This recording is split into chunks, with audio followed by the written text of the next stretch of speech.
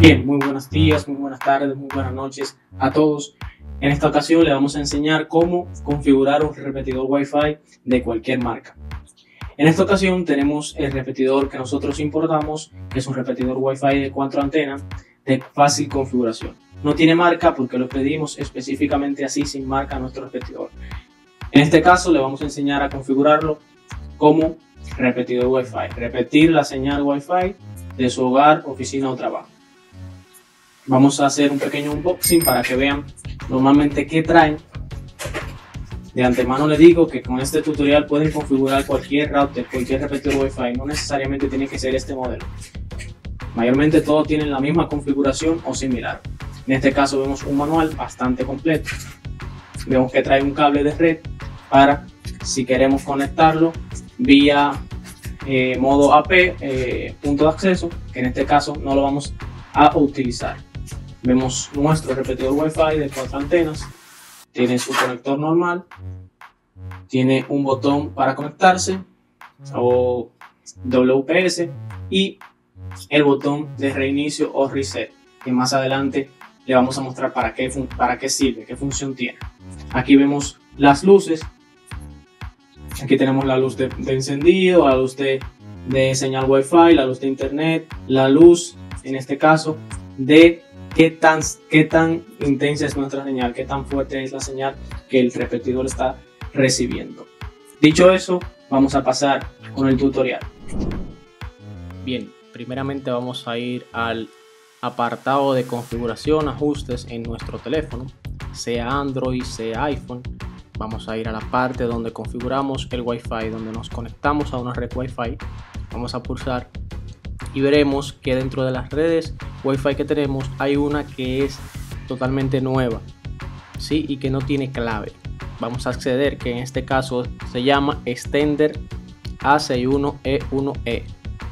Si tiene otra marca de, de repetidor, pues le aparecerá con otro nombre pero normalmente todo termina en la palabra extender o EXT.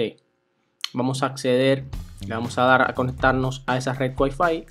Automáticamente ella, el celular, nuestro celular se conecta, normalmente abre esta página web que dependiendo de la marca de su repetidor Wi-Fi puede ser igual, similar o diferente. Pero todos le va a abrir una página web al conectarse.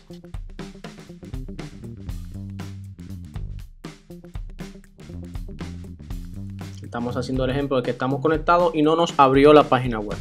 Pues simple, vamos a ir al navegador Chrome y vamos a digitar en este caso con esta marca de router estos dígitos 192.168.11.1 en cualquier navegador, sea el Google Chrome, el Internet, cualquiera. Simplemente vamos a colocar esa dirección ahí. En vez de buscar cualquier palabra o cualquier cosa, vamos a colocar esos dígitos, que en este caso son esos.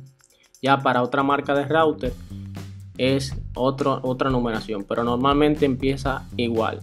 192, 168.10.11, etcétera. Simplemente lo buscan en el manual y cuando vean eso, que comience en 192, pues esa es.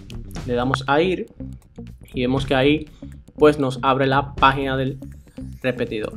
Nos va a pedir normalmente un usuario y una contraseña que por lo regular es por default admin y admin igualmente de contraseña. Tanto admin de usuario como admin de contraseña en minúscula. En este caso solamente nos pide el password, la contraseña.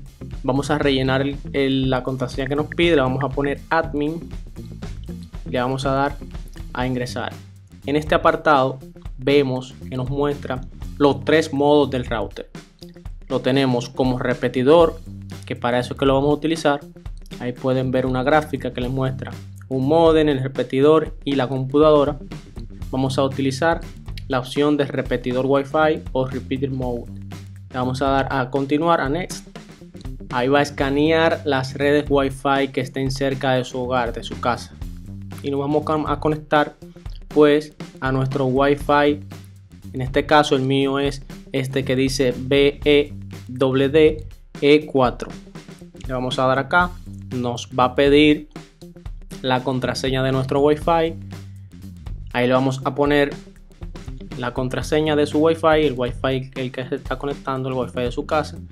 Le vamos a dar a continuar. En este caso vemos un apartado, una casilla que nos marca en la que nos dice si queremos que el repetidor Wi-Fi tenga el mismo nombre que nuestro router de internet, que nuestro modem principal. Y le vamos a dar a continuar. En caso de que quieran ponerle otro nombre, solamente seleccionan esta casilla y ahí debajo le ponen el nombre que quieran. Pueden ponerle repetidor, repetidor o como quieran. Le vamos a dar a siguiente, honesto. Listo. En estos simples pasos ya tenemos nuestro repetidor Wi-Fi configurado. Le damos a finish. El repetidor se va a apagar, va a durar 30 segundos y se va a reiniciar. Con esto va a completar la configuración. Ya luego de que pasen esos 20-30 segundos, vamos a verificar que nos aparezca esa nueva red Wi-Fi o la nueva red, extensora de Wi-Fi. Vamos a apagar el Wi-Fi de nuestro celular y vamos a encenderlo. Vemos que nos sale una nueva red Wi-Fi que en este, no, este, en este caso se llama repetidor. Se quedó con la configuración de nombre repetidor que yo le había puesto. Vamos a conectarnos a esta nueva red que dice repetidor. La clave es la misma que siempre tiene ya que no la cambiamos. Ahí nos estamos conectando. Ya está conectado, está funcionando.